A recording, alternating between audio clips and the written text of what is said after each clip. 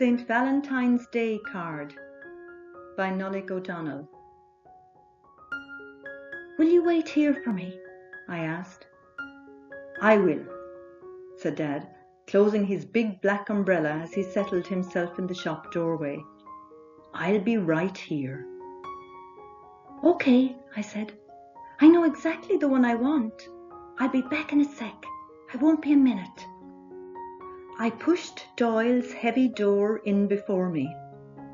I made my way over to the card carousel.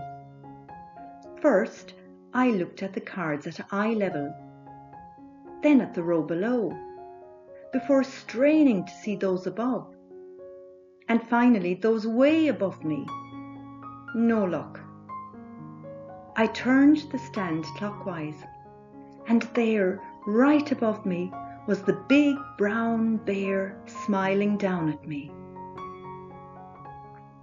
Whew, great, it's still here, I thought. Can I give you a hand there? came the voice from behind. Oh, I, I, I think I'm okay, I stuttered, stretching above my reach to topple my special purchase from its rack. That's a Valentine's Day card, admonished the voice. I know that, I said. It's for Mam. By now, the voice had materialized into the ever so perfect Anne from the haberdashery department. I had the card in my grasp and was making my way over to the big timber counter to pay for it. I hoped she wouldn't follow me. She followed me. Worse still, she took the card from me. You know, she continued, like I said, it's a Valentine's card. You wouldn't really send a Valentine card.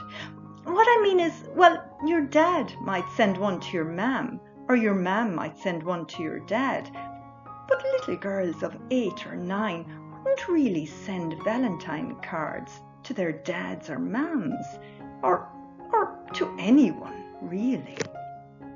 But I am sending it to my mam, I said, and I know that that's okay. I paid for the card. Anne put it in a little brown paper bag. I thanked her before leaving the shop. I got it, I said to Dad, as he opened his umbrella. Great, he said, winking at me. Now let's go straight to the post office.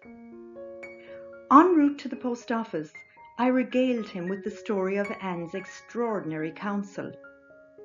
Imagine, I said, she thinks that a little girl shouldn't send a Valentine's Day card to her mam. Isn't she strange? Look, I said, taking the card out of its envelope and showing Dad the big brown bear smiling out at us under a speech bubble saying, Now, who's been sleeping in my bed?